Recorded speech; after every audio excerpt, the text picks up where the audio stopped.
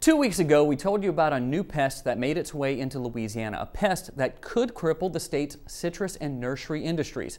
Now, the Asian citrus psyllid has turned up in another parish. This week in Louisiana Agriculture's Bill Sherman has the story. Louisiana citrus and nursery industries in southeast Louisiana have been put on alert for a new pest.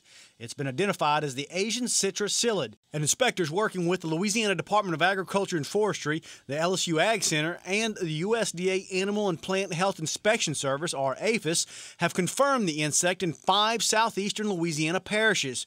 Those are Orleans, Jefferson, St. Charles, Plaquemines, and now, as of early July, Lafourche Parish. The Asian citrus psyllid threatens to spread citrus greening, and that is the real threat. Citrus greening is a devastating disease that prevents fruit from ripening and eventually kills the trees. As of now, inspectors have found the citrus greening disease in only Orleans Parish where that tree came from. Now, that tree was about At a recent press conference, Commissioner of Agriculture and Forestry, Dr. Mike Strain, issued quarantine measures for the affected areas. Specifically in Orleans Parish, there will be a quarantine for the Asian citrus psyllid and for the citrus greening disease. And in that particular case, the fruit will be able to be sold once it is proper, ha properly handled and boxed. However, you will not be able to move or sell any citrus nursery stock, which means seedlings or citrus plants, outside of Orleans. You can move them within Orleans, but not outside of Orleans. In addition, Commissioner Mike Strain issued another quarantine for Orleans, Jefferson, St. Charles, Plaquemines, and now Lafourche parishes. These parishes are under a different kind of quarantine.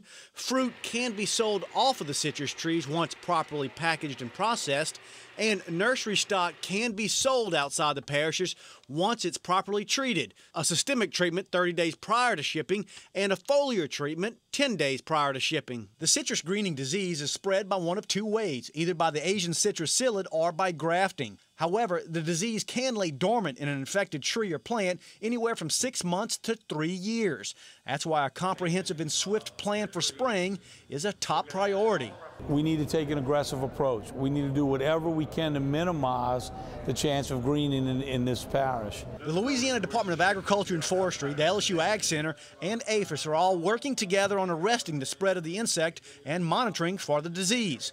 And while the psyllid poses no threat to humans, it does present a real potential problem for the state's nursery and citrus industries. The good news is we have a protocol, and if we follow that, it will allow us to, to continue shipping because we know and understand the value of the nursery stock industry, which is, which is quite large here in Plaquemines.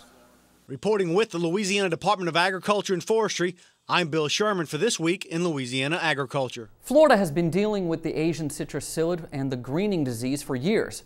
Texas also has the Asian citrus psyllid, but so far, the citrus greening disease has not turned up there.